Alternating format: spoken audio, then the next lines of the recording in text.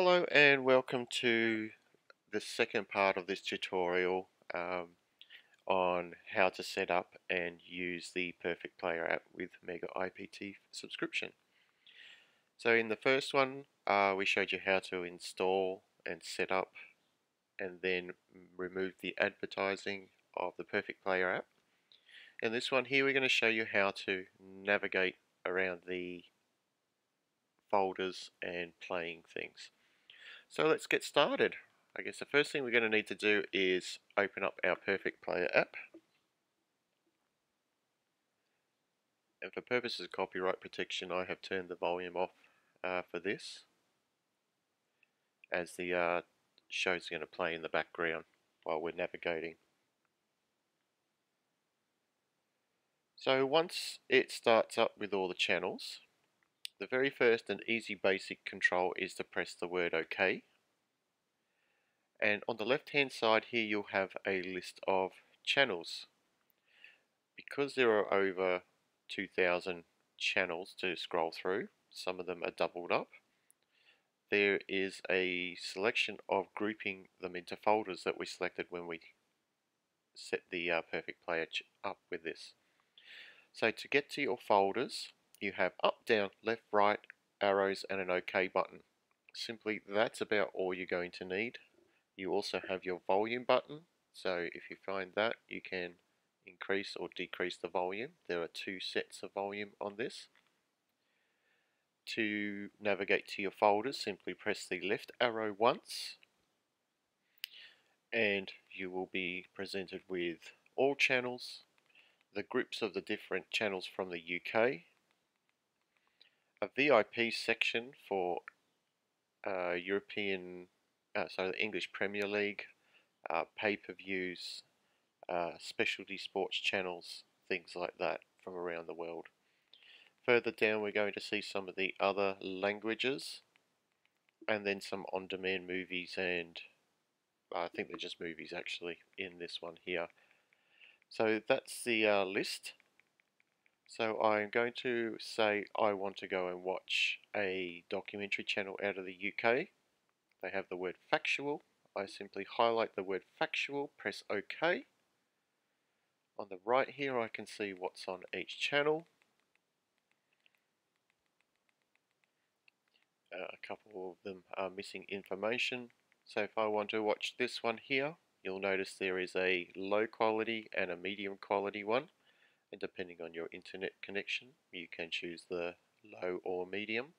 And some of the major channels and the sports channels some of the major sports channels will also have a full high definition version. So the information there when we select will let us know the quality of the stream down the bottom and that we're using the hardware decoder instead of a software decoder.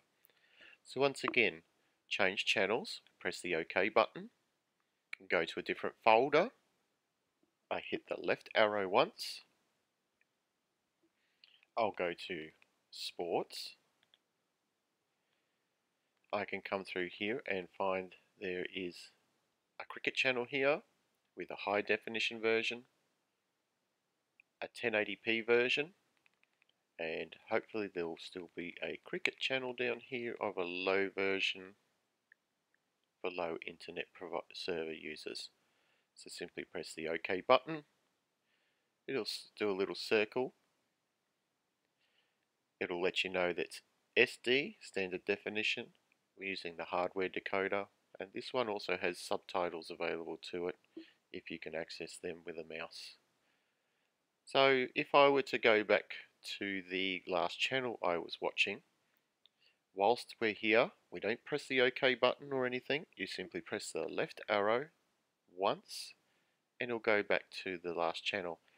So if you're trying to switch between this channel and that channel, but you don't want to keep going to the folders, simply press the left arrow only. Don't press the OK button because that's going to bring up the channel folders.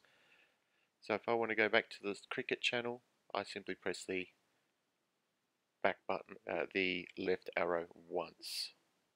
And I've got some internet problems there. So that's how that one works.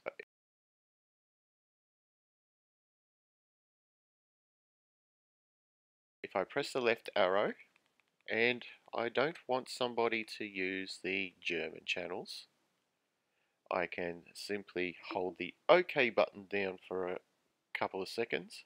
One, two. The menu will come up and you'll see there's a lock group here.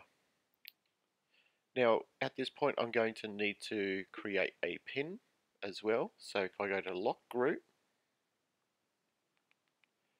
and let's say I want to do the same for Spanish these are still accessible at the moment. So they're a little grayed out, that's all. To lock them out completely, press the OK button or the menu button for uh, OK button for a couple of seconds or the menu button to pop this up. We will have to go to the settings we will need to go to graphic user interface, GUI, and then we're going to have to set up a pin code. So we can use one, two, three, four. Don't give that out.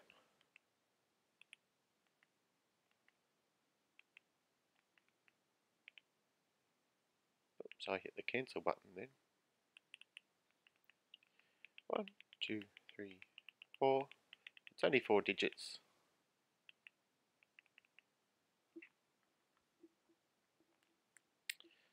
I'm going to need to put the mouse on here.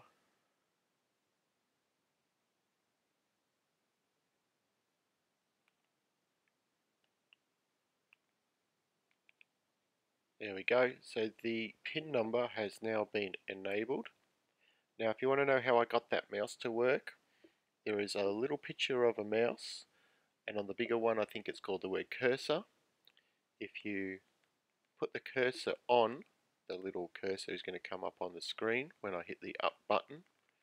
You see it's very slow so I'm holding the up button for a long time for it to move up and down and to turn it on I hold the mouse button or the cursor button in for a couple of seconds and the cursor no, no longer works.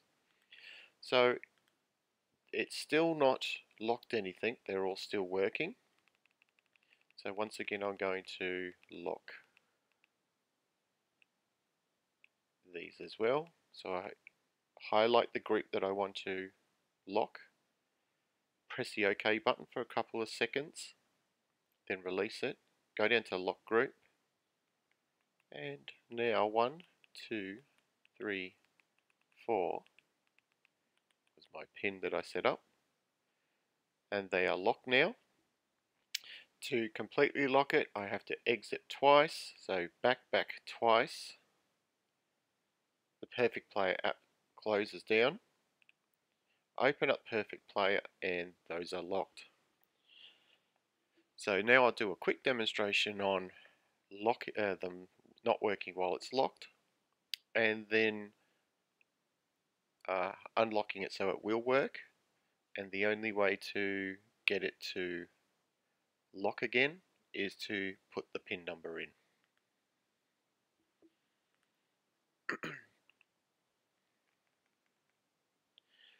so here's a channel that does work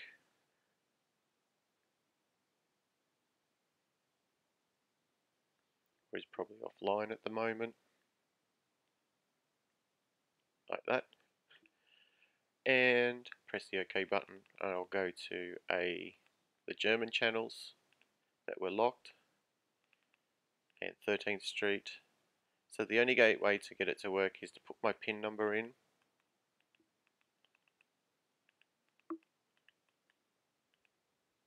and now it'll play. That means now every channel that has been locked is now available to work. So for instance, let's go to Spanish.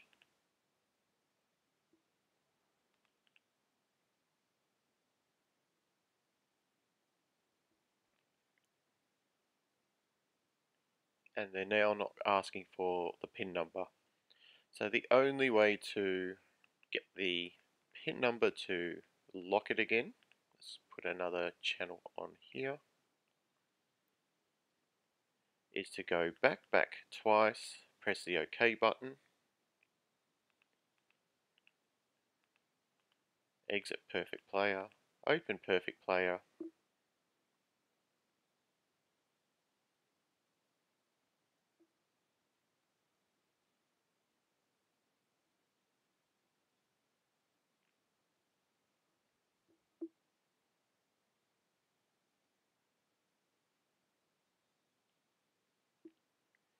And once again, if I go to the ones that are locked, a pin number now comes back up again.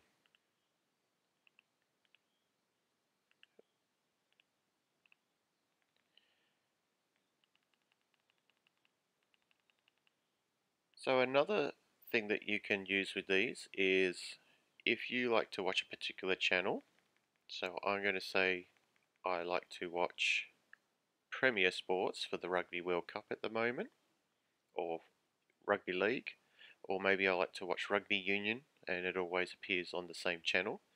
Then what I can do is highlight it, press OK for a couple of seconds, bring up the menu and add to favorites.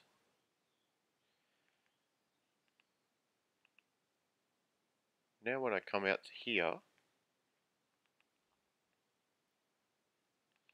Let's put a few more in. The favourites. Say BBC One.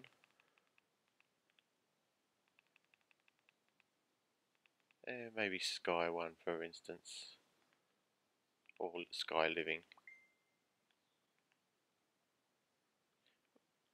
Show my favourites. Now just my favourite channels are going to come up for me instead.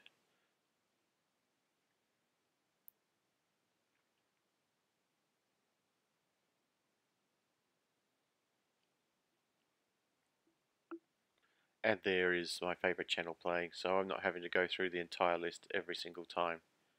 So let's show you that again.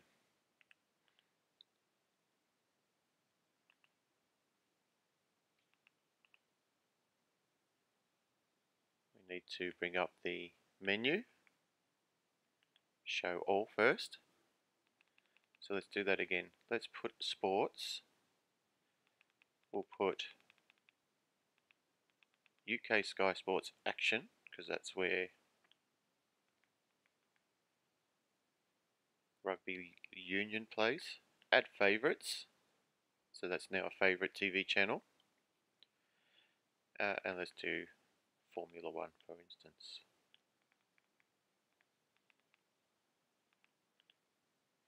So how did I get the little menu up? Once again, go to Cricket, hold the OK button down for a couple of seconds. Up comes the menu. Put the heart on it, add to favorites. And if I want to get to my favorites, so it doesn't matter what screen you're in, hold the OK button down. Sorry, we do need to have the information up on the screen. Hold the OK button down for approximately two seconds. And down the bottom it says show favorites and they're still in folders? Or if you've only got a couple you can go to the word all. And if I want to get back to the full list once again have your groups or your channels up. Hold the OK button down for approximately two seconds and change it to the word show all.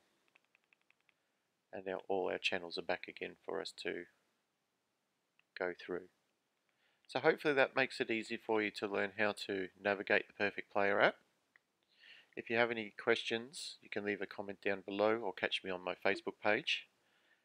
And uh, share this with your friends and family. And I hope this was easy to understand. And until our next tutorial, I hope you have a good day. And it's bye for now.